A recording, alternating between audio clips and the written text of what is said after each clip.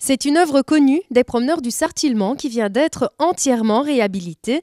Le musée du plein air de l'ULG a en effet confié la réfection du mythique Grand Aigle aux élèves en menuiserie de l'école polytechnique de Herstal, un ouvrage qui avait souffert des années écoulées. On réinstalle une œuvre importante, emblématique, que les gens connaissent bien et qui est très appréciée du public. L'œuvre antérieure était complètement abîmée, on a dû la défaire et grâce euh, à l'enseignement de la province de Liège à l'école polytechnique de Herstal, on a pu refaire à l'identique euh, le grand aigle des conquêtes animé par un moteur à merde. Un système de levier étonnant mais qui a dû être supprimé. L'aigle en fait était mobile et était relié par un flotteur, un système comme une chasse d'eau, euh, au grand collecteur d'égout du Sartillement et quand il pleuvait beaucoup, ou au contraire quand il faisait sec, le flotteur montait et descendait et les aigles les, ailes de l'aigle se, déplaçaient. Le système n'a pas fonctionné longtemps en réalité parce qu'il était trop dangereux, parce qu'il y avait des parties de bois qui bougeaient, des promeneurs pouvaient prendre leurs mains dedans ou leurs pieds, ça pouvait faire des dégâts. Donc les services de sécurité ont interdit que ça fonctionne. Donc euh, il ne fonctionnait plus depuis plus longtemps et on n'a pas fait reproduire cela, c'est un détail, mais qui fait partie de, l'histoire de l'œuvre et de l'humour qu'elle véhicule. Cette réhabilitation du Grand Aigle a été l'occasion pour les élèves de menuiserie de l'EP de Herstal de se former sur un ouvrage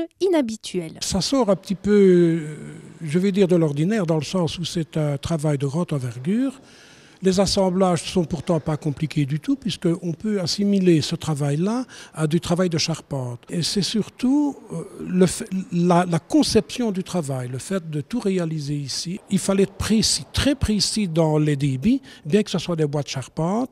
Euh, S'il y avait 1970 euh, mm pour les montants, il ne fallait pas en 1971. Non, il fallait être précis. À partir du moment où on était précis, et c'était le cas, à l'aide de gabarits, on pouvait donc tracer les trous euh, aux angles. Depuis la conception au placement définitif, il n'a fallu que quelques semaines à l'équipe pour faire aboutir le projet.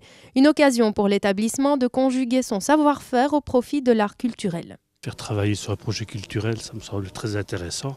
C'est un travail de charpente, donc ça rentre dans le programme de sixième année, même si les cinquièmes ont travaillé dessus aussi.